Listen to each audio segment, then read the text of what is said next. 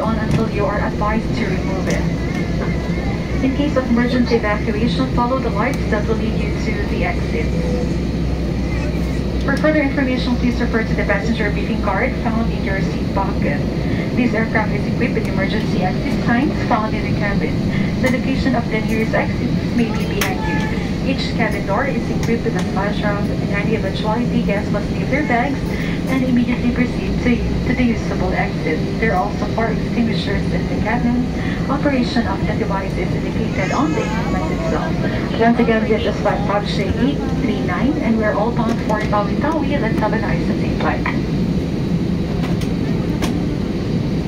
We are about to take off. Straighten up your seats. Fasten seatbelts securely. Keep window shades open and tray tables stowed. Voice communication with the use of mobile phones is prohibited while cabin doors are closed. This is a non-smoking flight. Use of vape, e-cigarette, and all smoking or vapor inhaling and emitting devices is prohibited by Philippine Civil Aviation Regulations. Please stop using your gadget if the battery becomes excessively warm.